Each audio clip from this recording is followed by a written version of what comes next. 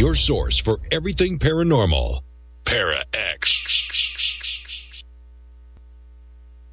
The views expressed and the opinions given by the individual host and their guests do not necessarily reflect those of Para X, its affiliates, or its sponsors. Daughter of the elements, daughter of the rain, daughter of the thunder, daughter of the flame, daughter of the dawn, and daughter of the stars, and daughter of the night, daughter of the earth, and daughter of the trees, daughter of the storms, and daughter of the breeze, daughter of the moon, and daughter of the seas, daughter of the winds, and daughter of the leaves, daughter of the elements, daughter of the rain, daughter of the thunder, daughter of the flame, daughter of the dawn, and daughter of the light, daughter of the stars, and daughter of the night, daughter of the earth, and daughter of the storms, and daughter of the breeze, daughter of the moon, and daughter of the seas, daughter of the winds, and daughter of the leaves, daughter of the elements, daughter of the rain, daughter of the thunder, daughter of the flame, daughter of the dawn, and daughter of the light, daughter of the stars, and daughter of the night, daughter of the earth, and daughter of the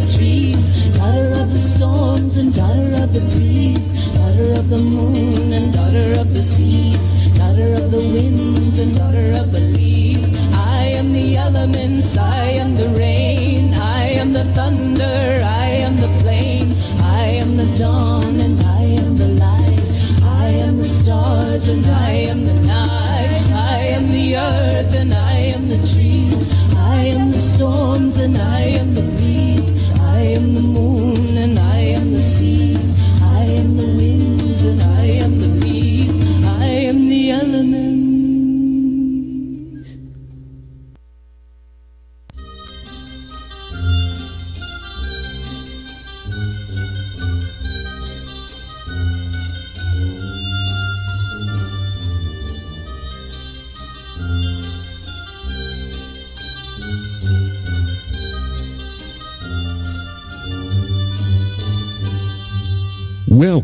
Stirring the Cauldron. Now, here's your host, Marla Brooks. Merry meet everybody, and welcome to Stirring the Cauldron here on the Para X Radio Network. Now, before we get started, I just want to make mention that my website, marlabrooks.com, has been reborn. Talk about reincarnation. It's amazingly reincarnated. Um, it now looks like it belongs in the 21st century.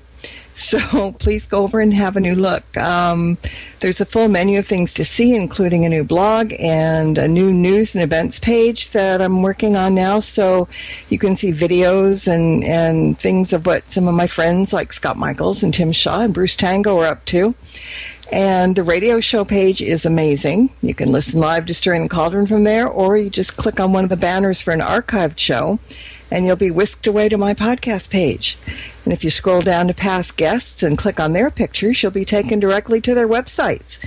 You know, it's kind of like magic. Um, and that's just the tip of the iceberg. So go over and have a look and, um, you know, leave a note or wave at something. It, it's kind of just something I'm proud of for a change. It looks good.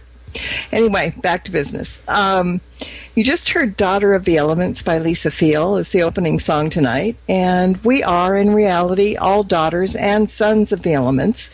And one of my favorite daughters of the elements, Judika Illes, is here tonight.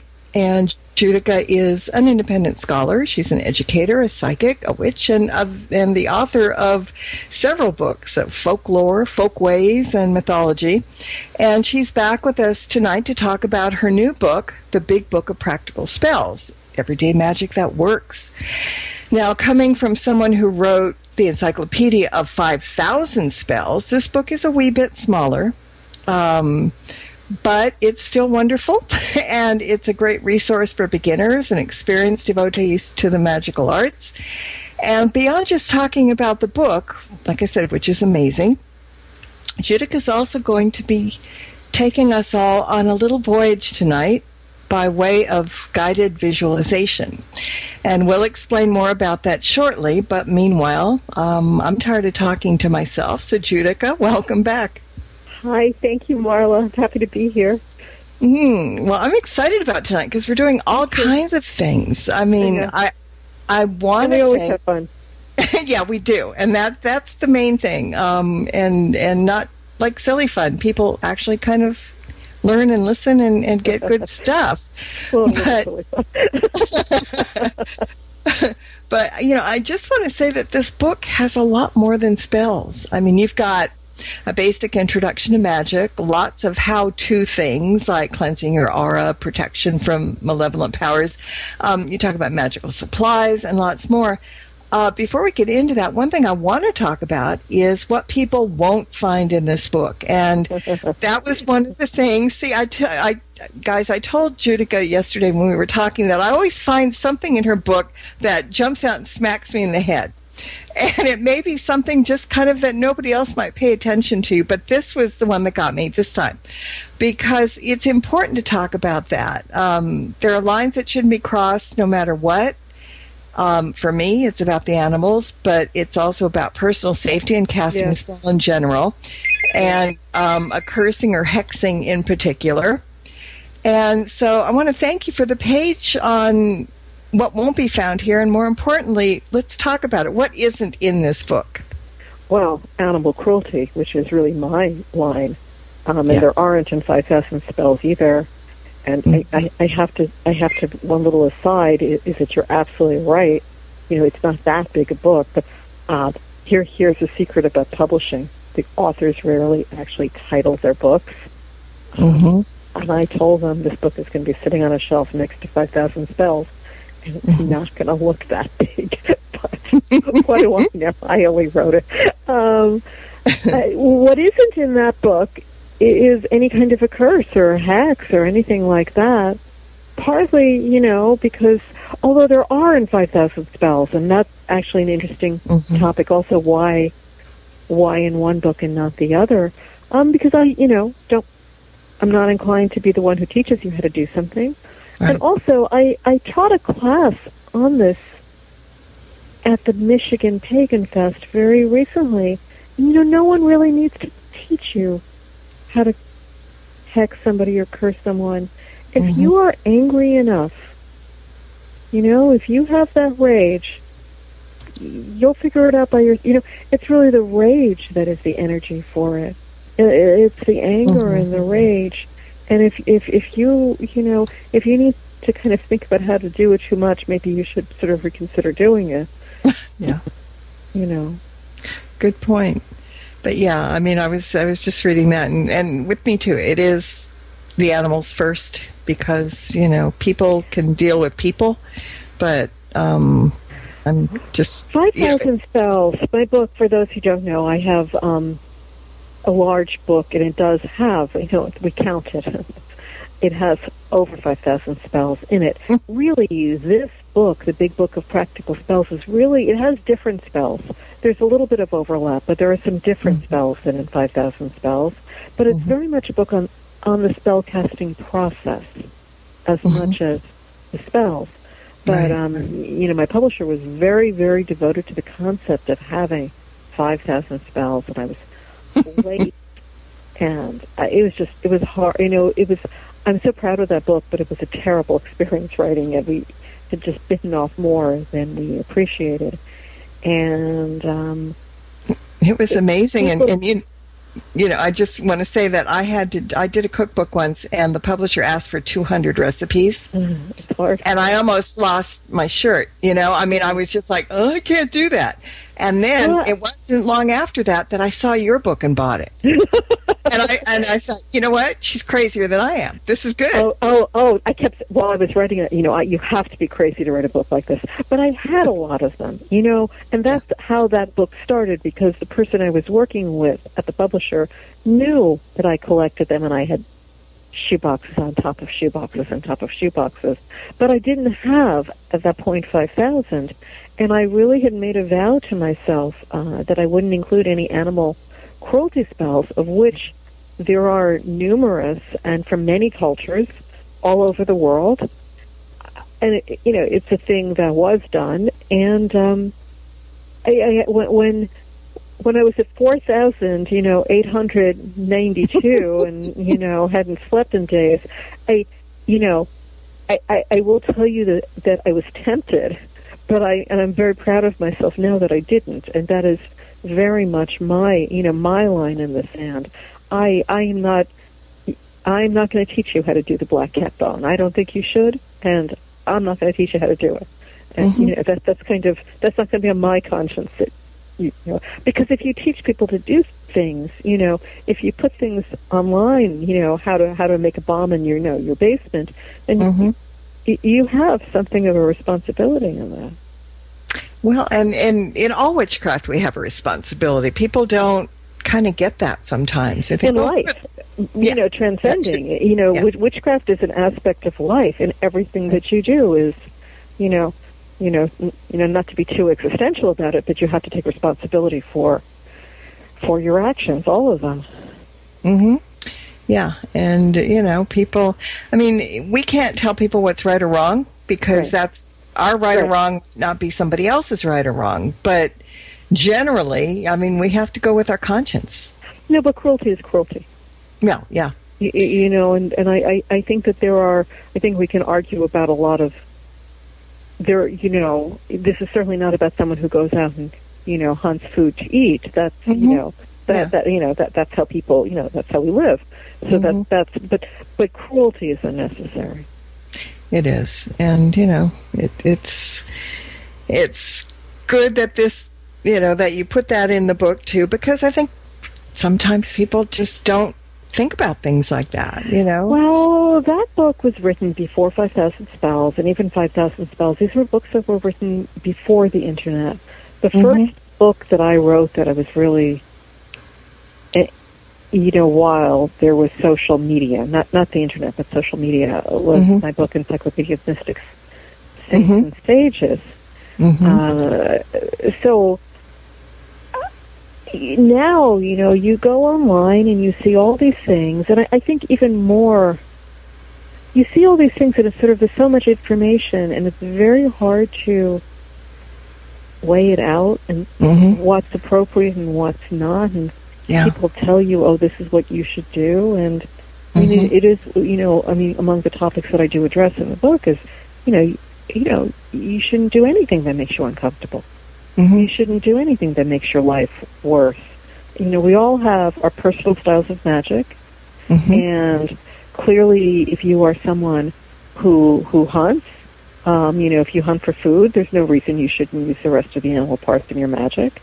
But you know, but if you're a vegan, or you know, or you're you're uncomfortable with any kind of death or body parts, you, don't. You, it's it it won't be the most powerful for you if you're uncomfortable with it. Mm-hmm. And the thing about the internet and the availability of spells and all kinds of things on there is that you don't know who created them. You don't know who wrote them up. And people seem to think that anybody that has a website or is listed on Wikipedia or, you know, anything like that um, must be uh, somebody who knows what they're talking about. Well, I, I don't rea- read reviews, you know, for that reason. Everybody's entitled to an opinion, Uh huh. whether or not they actually are qualified to give one.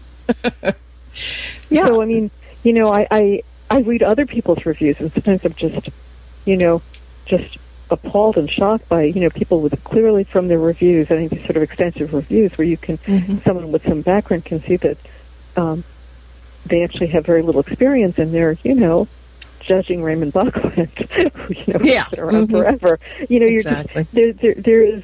Uh, uh, you know, uh, you know, we have to have a sense of perspective, and and I, I think it's very easy to lose. You know, everybody has an opinion. Everybody's an instant Yeah. expert, and, Yeah, and the reality is that the more that you learn, the more Mhm. you realize how little you know. Yes, absolutely. I mean, you, you know, you think you're smart, and the more you learn, the stupider you get. In a Oh my. God! You, you realize how much information is out there. Yeah. How many books? How many people to learn from? Mhm. I, it's overwhelming.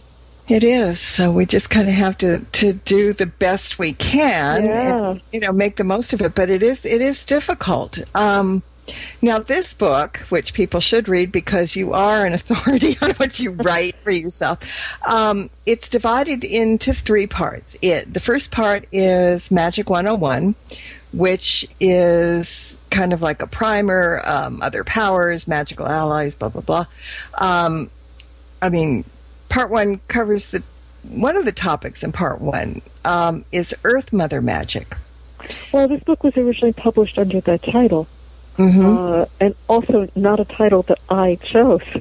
and I, I mean, I, I do write about that. There, this uh, this edition has a new foreword, which was has not been in previous editions, and I write a little bit about the history of this Mhm. book. And um, I, you know, I hated the title. I hated the title. I thought it was, you know, but I, I, I have this gigantic manuscript on fertility that had been turned down, but Mhm. someone liked my writing and asked me to write a general book on spellcasting, with which I mean was something I knew that was, you know, they were not asking me to do anything difficult for me Mm-hmm. and it was and they they they gave me the title and turned me loose but i hated the title but i Mhm. wanted to do the book and one of the things is i really determined that if we were going to if i was going to be saddled with a sort of you know it's an ecological title earth mother magic how do you justify turning all these trees into pulp into paper so i i, I took it very seriously that i would write a substantial book I would Mhm. write a book that, that at least, you know, attempted to be worthy of sacrifice. Well, this one is. Um, uh, you know, that, if that makes you feel better, because I'm entitled to my opinion, but maybe other people, you know, don't agree with me. But they should, no, no. I mean, it, it, it, it was, you know, it, it, it. I am very grateful, and I'm, you know, the title could have been worse. I've always had a problem with my publishers about the covers, the front and the back covers. See, I have been blessed with covers. My You cover have. art, I have been so blessed. hmm Yeah, I think, and and I I just I feel bad because the my animal spells and magic book. Mm. You know, there was this cute little picture, but, um, of a little cat in a cauldron, which is cute. You know, a little black cat, but at the time it just it it turned into this purple thing that all you could see was purple at you. And I, I said you know i'm talking to my editor please can we do something about this? Cover well we can make it a little less purple if that'll make you feel better. I'm like ah! yeah. So here here's like one of my favorite books you know because it deals with animals. Yeah, and it you know it's like great barney book. Yeah. barney threw up on it or something you know and they're, they're Oh, so you're lucky that, you know, I mean, covers are more important than, no, they're not more important than titles, but people no, are, but, there are, but but I think people buy. I, I I do. I walk through bookstores and a cover catches my eye and I pick it up. yeah, and you run and from that's what people do. So, Mhm. I've got a question from the chat room really early on um, from Cater, and she wants to know if you have any advice for novice witches or people who want to start in witchcraft. well, Want to do a whole show on that, right? Well, yeah, we could, but I mean, the Yeah. big book of practical spells is actually it is. I don't, and it depends what you mean by witchcraft, because people that word, people use words and they assume everybody means the same thing, but witchcraft mm-hmm. is a Yeah. multifaceted word that could mean many things. So mm-hmm. I, I will say that if it is the spell casting aspect, if it is the magical aspect, the Big Book of Practical Spells was intended to be a course in spellcasting, and I always think I'm going to teach a class based on it one day too. Like if I could, you know, I enjoy teaching.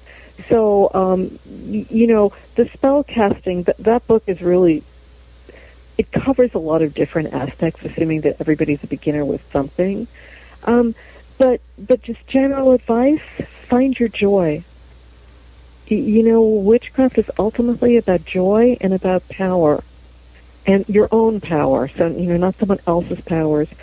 Don't, there are many ways to be a witch. I've got a book called, um, the Weiser Field Guide to Witches, and it goes Mhm. through all kinds of, you know, all kinds of different kinds of witches with different schools of thought and different practices.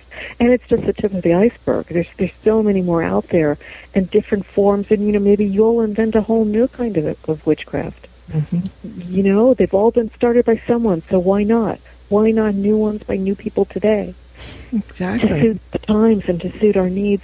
But that is to find your joy, to find your ecstasy, to to find your you know to find your allies in the world, whether they're animals or crystals or spirits or or elementals or whatever it is, and to to to ultimately it is a path to personal transformation to create the life and identity for yourself that you would like.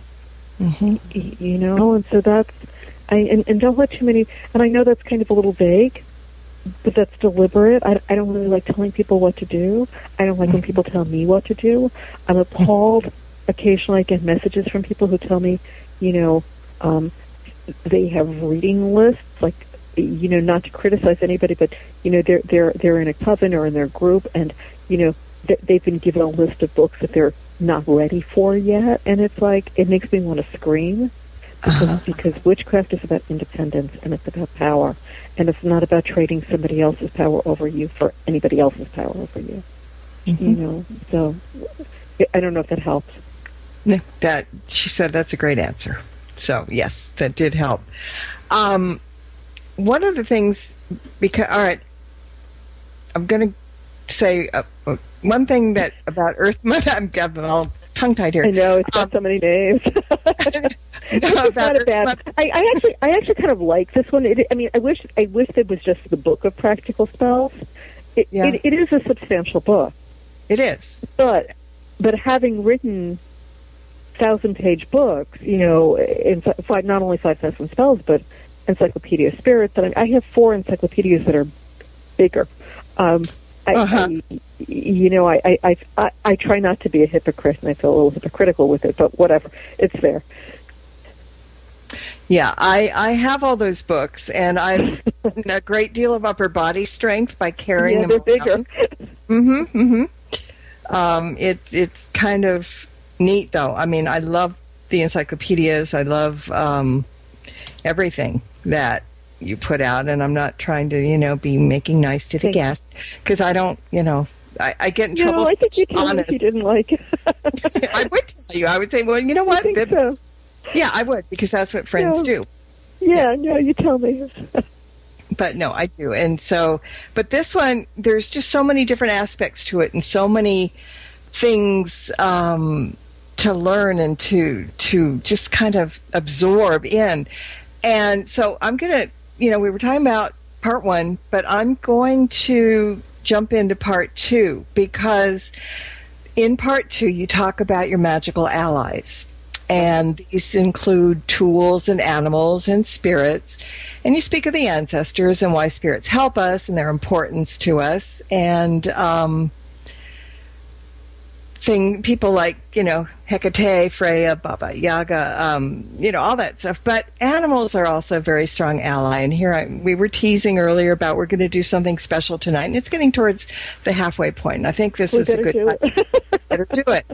Um, animals are our strong allies, and in the book, you talk about meeting our animal allies, and you have a guided visualization to do that, which is really quite simple, and anybody can do it by reading. But um, you know, it's things like that are so simple that for all the naysayers out there who claim they can't do visualizations and they can't do meditation, I kind of wanted to show you that you can for the most part. So I didn't twist Judika's arm, but I asked politely um, if she But I would love, mind. I love leading vis- visualization, so I was, you know, delighted.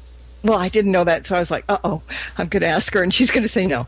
Um, but so Judika is going to now explain to you what a guided visualization is, and then um, she's going to lead it. And so I want everybody that's hearing this to listen in. You're going to find out who your, hopefully your your animal ally is through this guided visualization. And it's as simple as just sitting there and taking a couple of deep breaths and closing your eyes and listening. So, all right, I'm going to shut up, Judika.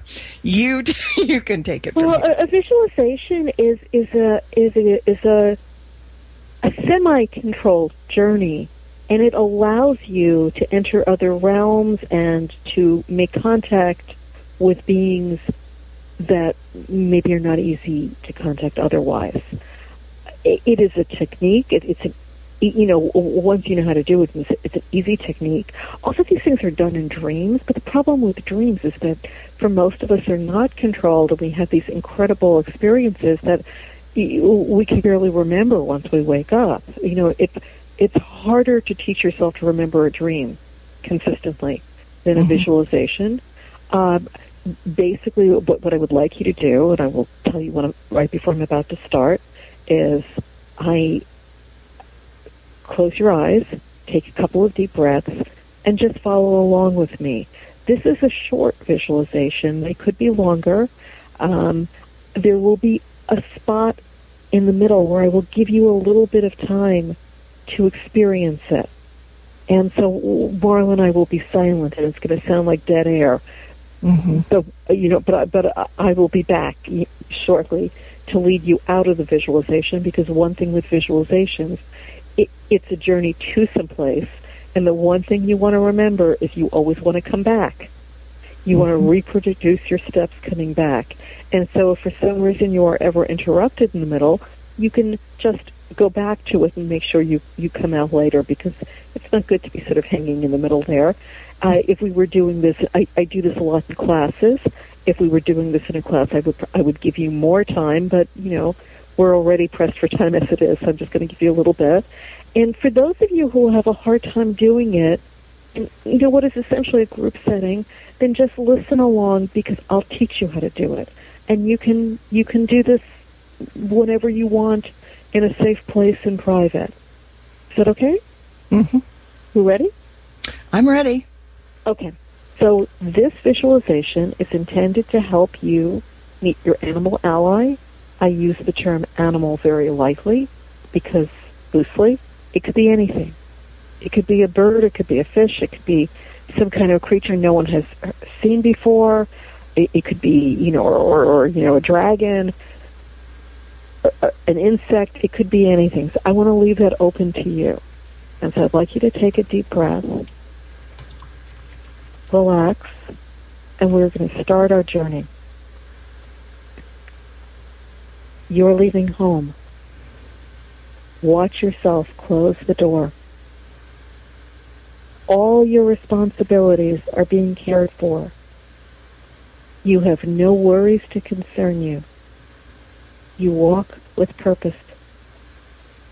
At first, the landscape is familiar, but eventually you arrive in a wide field full of grass and flowers. There is no clear path, yet you walk with assurance. Someone awaits you. You know where you're going. You walk through a fragrant field until you arrive at a thick wood it's darker under the canopy of trees, but you look down, and right in front of your feet is a clear white path. You proceed into the woods. The fragrance of the trees is divine. Birds sing to you. It's dark, but sunlight trickles through the branches, and you can see your way clearly. Your feet know where to go. The path takes you deeper and deeper into the forest. You feel no fear but peace and self-assurance. You walk and walk deeper and deeper until the path simply ends. You are still deep in the forest. You look down and see a square trap door. You reach down and pull it open you see stairs descending. As you enter, you discover a torch. A match is hanging on the wall waiting for you. You light the torch reach up and close the trap door and descend into earth. You walk and walk. It's cool and dry. Finally, you reach the bottom. It's dark here. The only light is from your torch. A path guides you forward. In the distance, you can see a faint light, and you walk towards it. Gradually, it becomes brighter, and you no longer need your torch. The path widens. Somehow, you find yourself under open skies, approaching a small, pretty shore. Peaceful water plays gently on the ground. Take off your shoes and wet your toes. The water is just right. Gradually, you become aware that you are not alone. Someone has been patiently waiting your arrival. When you're ready, look up and see who it is. We're going to stay here for a little while. You may communicate in any way with the one who waits for you, or you may simply gaze and share the moment. I'm going to be quiet in a minute. When you, at some point before I ask you to leave, or just when I tell you to leave, ask your ally if there is a gift that you can take back with you. And now I'm going to be quiet.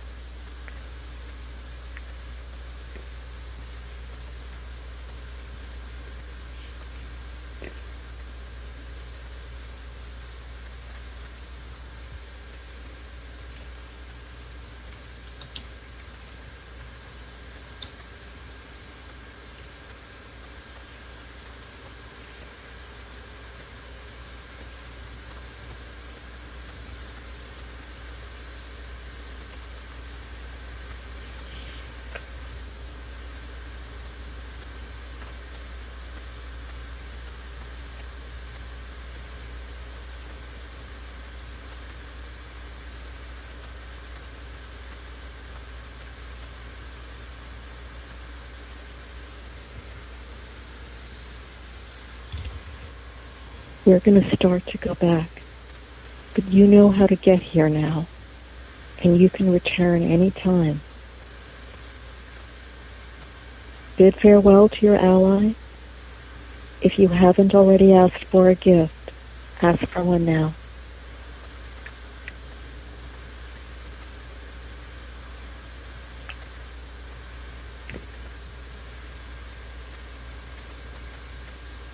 We're going to reverse the process and return home.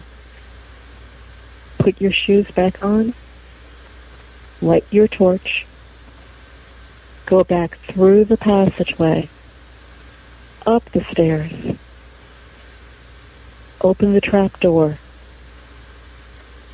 feel the fresh air, and extinguish your torch, hanging it up together with the matches so that they're waiting for you whenever you need them.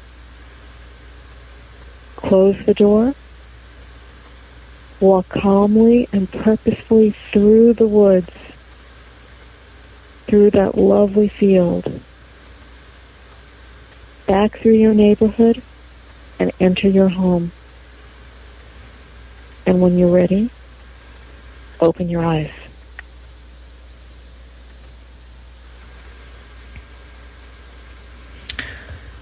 Okay, now I'm curious about those of you in the chat room who did the meditation, the, the visualization rather. Um, want you to post if you saw anybody when you got down there, who it might have been, what it might have been. Um, just curious. So if you guys want to post, that's great um, you know, it, it, everybody's experience is going to be a little bit different. Um, some people might not get it the first time, but you can always go back um, to the podcast. It should be up um, tomorrow or I Saturday. would like to, um, I, yeah, and you can take it and you know stop it and spend more time there if you want. Also, I, right. I would like to point out something with, um, I, I think, it's with any kind of ally, but especially animal allies if this is something that's new, and I mean, I, I did my first I remember when I did the medicine cards, you know, the Jamie Sams' medicine cards years ago, and I was mm-hmm. so disappointed. You know, I got a spider. And, oh my God, I got a spider and a bat, and you know, we all mm-hmm. want tigers and wolves and just beautiful, dramatic animals, lions, and you know, often, you know, I mean, one of the animals I work with the most personally are squirrels, and it took me years. And there's a reason in the you know in the medicine cards I say don't do it twice, just whatever it is, leave it there. And Mhm. in, in years to come, I have learned to appreciate all those allies and, and to I'm grateful that I have the ones that I want. And spiders are so typically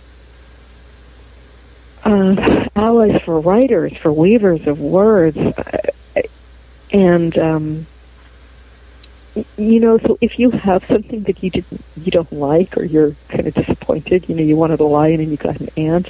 Don't. that's most of us.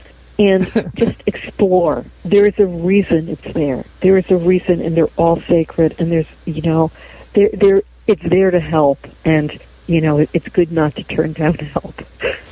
It's interesting. Jen's in chat says she got a tiger. Oh wow! There you then she go. she That's says- great. What's with the pendant, though? So I guess it was the tiger wearing a pendant. Go Uh, go back and find out. I was going to say, yeah, Was the pendant a gift, or was the tiger wearing the pendant? we'll find out. Um, got a 30 second delay, but we'll find out.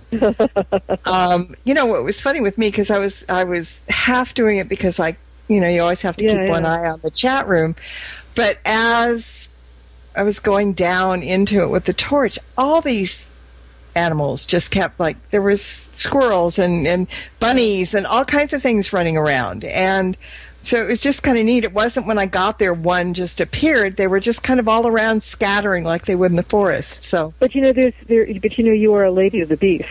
There's a type of a goddess. You know, a, there's not one lady of the beast. There's a type of a goddess. It's a very ancient Right. type of goddess who's known as a lady of the beast. There's Mhm. a lot of. There's a great book by Buffie Johnson who collected all sorts of ancient goddess imagery, beautiful photographs. It's it's really.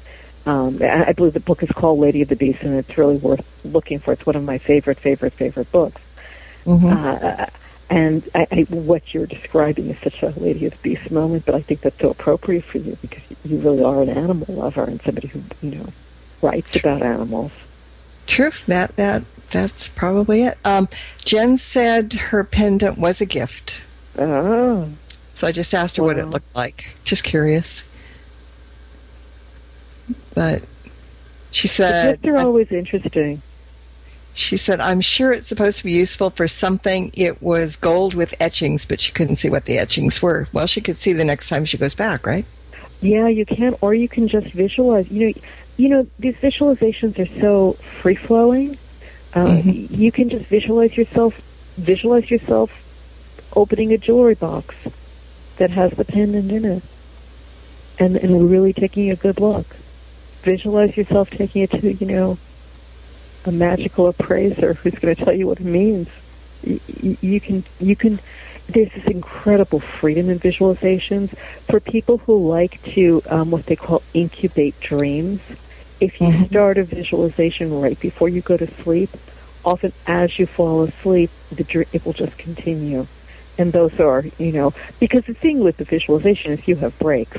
If you find yourself going someplace really, you know, you don't like it, you could you could just turn around and come back any time you know, as opposed to dreams, which you know you're kind of, you know, you're being taken. Mm-hmm. Yeah. Um, I'm after. I'm going to call you after the show because there's there's one that I just Okay. heard about that I'm not going to talk about on the air. Okay. Um, but you need to hear this, and it's beautiful. It Okay, really is thank you. beautiful. Yeah. So expect my call. Um, a pleasure. yeah, but again, um, you know, visualizations are fantastic things, and sometimes, you know, what one person in chat said they didn't see anything, but when they got down there, it was beautiful down there. You know, I mean, they didn't see anything right there. So, I mean, okay. some- they didn't And, see and this anything. is a little abbreviated. I mean, we're doing it with a with a you know time pressure. You know, if I do this, if I do this in a classroom setting, um, you know, we could take 30, 40 minutes for this, but it's it's it's different on the air. So Mhm. now you know how to get there and you know it's beautiful, so go back and explore. Yeah, um, I think, and, and I, I want to thank you for doing that because I, I think a lot of people maybe have heard the term guided visualization. well I have but a confession. I, have a, I love doing these, and I, I, I do them for myself. I mean, I, and I write about them. I, I have visualizations in various books, and I it's something that I enjoy doing, and I enjoy doing it for myself, and I I enjoy leading them. But there was a point some years ago where I think a lot of different people were were doing visualizations, and I you know I go to stores and I say, well, what do you want me to do? And they're not a visualization. So I was so happy when you asked. well, good. And you mentioned something um, when we were talking that maybe we could do others if people were interested. And yeah, I, I love doing these. I'd be happy to do more. Yeah, and we could, you know, devote a show to that, so it wouldn't be Mhm. rushed, and and um, because I, I really think that it's it's almost kind of like refreshing to do something like that. It takes your mind off of everything that's around you. Yeah. Um, it relaxes you, and it opens a lot of doors that people may not have ever tried to open before. It is if you are doing any sort of spiritual petitioning and you you know it's often how do you know they've heard me? How do you know? Well, Mm. you know, this is one way to actually, you know, see yourself, you know, going to you know, going up to the throne, going up to the shrine, going, you know. I do a class on dark moon goddesses and I often incorporate a visualization into that one. And, you know, that, that ability to actually have that contact with the divine. And it, it, it teaches you that the method, the more you do it, Mm-hmm. the better you get at it. It's a skill, Right. and I think, and I think the more real it gets, also the more authentic, and the more um, y- you become a little, you become braver and more adventurous, and Mm-hmm. whatever is out there in that realm, and, and we do, you know, it's, it's not, it, it's not, it's not all made up. You know, you're actually Mhm. going. Right. I, I think they well, they they recognize you and they welcome you, and the communication just gets better and better. Does. It's kind of like practice makes perfect, but it's Yeah. much deeper than that. It, it's just not. You know, this is this is something that a lot of people, everybody actually should experience, um, and more importantly, experience, but open themselves to be able to experience. And I think Yeah. that's part of the problem that some people have. They just put that can't, that word can't, can't do that, you know, for any number of reasons. It And becomes a self fulfilling prophecy. It does. And I was kind of testing myself today, like I said, because I can usually fall into these really easily, but I wanted to keep one eye in the chat room. Wow. But at the same time, thing I was seeing, I was there, you know, and I was kind of, you know, my split. if for those people who have, if you experience nightmares, especially repeated nightmares, nightmares with animals, or not, you know, um, this is actually a good way of sort of doing a little therapy with it, because Mhm. in in this conscious state, you reproduce it. And you can, you know, why is this creature bothering you? Well, you you, you can ask it, and Mhm. it's it's your visualization, and you can, you know, you you can you can tell the the big scary thing to become itty bitty if you want to, you know, or whatever. You you you do have that control, and I think it, it it's just it's just a super super beneficial technique. I mean, speaking with your ancestors, really, it just Yeah. opens up the world. Yeah, and and you just never know what you're going to see, what you're going to feel, what's going to happen. But it's it's one of those things that I think is important to do. That's just me. Um, but all right, so so we've done that, and um, now people can go and listen to the podcast and and um, And redo the that. you visualization is in the book, and you can take yourself. You know, you can you can it, it it's it's in the book, and if you know if you prefer, you want somebody else's voice leading you, you can get somebody else to read it. Mhm. There's all kinds of things you can. You know, it's you know the sky's the limit. You can do almost anything with it. There's no right or wrong way, and I think Yeah. that's what people are always. Am I going to do this right? Well, certain things don't have right or I mean, wrong. I, I when I wrote it because I'm writing for a general public. I mean, it's, it's a little vague. You know, Mhm. that the temperature is just right because I don't know how you like your temperature. I know Mhm. what I like, But you can, you know, when you're doing it for yourself, you can, you can be as specific as you want. You know, the water's cold, the water's warm, whatever, whatever it is. That um, I love hot weather, and I, for me, I used to when I, you know, I would do visualizations where the sun is shining, and I, I was at Gaia's womb in, in Wisconsin, and this lovely woman who looked like a snow queen just said to me, "You know, I, you know, I hate the sun," and I just realized that you know, we were, everything was fine until you said the sun was shining. and so you know, and it, so so, but you can you can make it whatever it is that you want it to be. Yeah. And that's what it's all about, doing it for yourself. You don't have to worry about pressure from others or anything else.